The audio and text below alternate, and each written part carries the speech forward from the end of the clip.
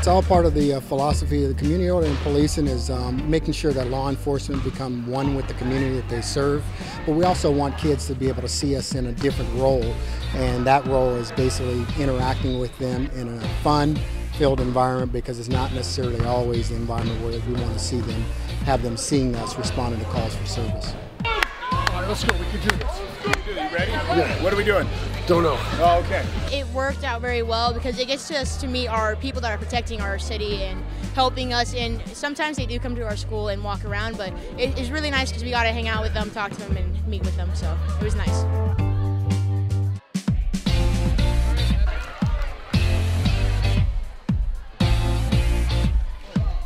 Are we going to go easy on them? No.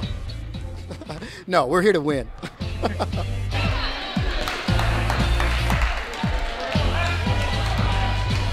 I was disappointed that the sheriffs kind of caught up, but we got it back over the end of the time.